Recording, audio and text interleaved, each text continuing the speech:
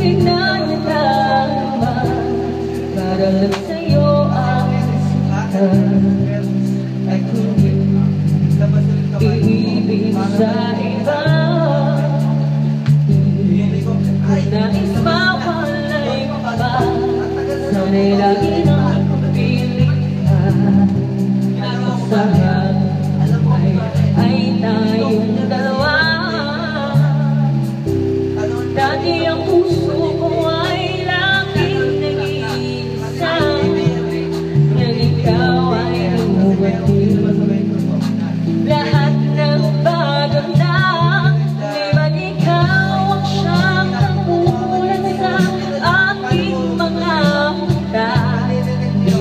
sa